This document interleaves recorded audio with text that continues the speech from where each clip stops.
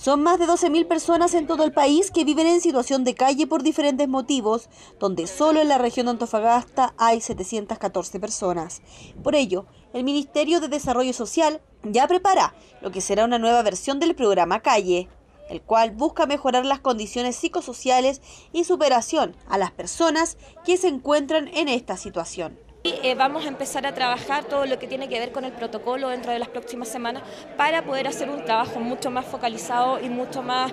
Eh, em, digamos, en conjunto para abordar esta temática que es tan relevante no solo para la comuna de Calama, sino que también se da en toda la región.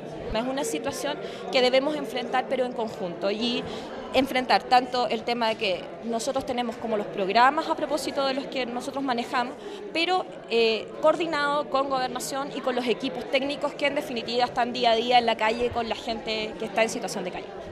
Además, esto se suma a lo que será en agosto la realización del Catastro Nacional de Personas en Situación de Calle, buscando generar políticas de largo plazo para eliminar sus causas. Una realidad que afecta tanto a personas en situación de calle como también a la sociedad en su conjunto.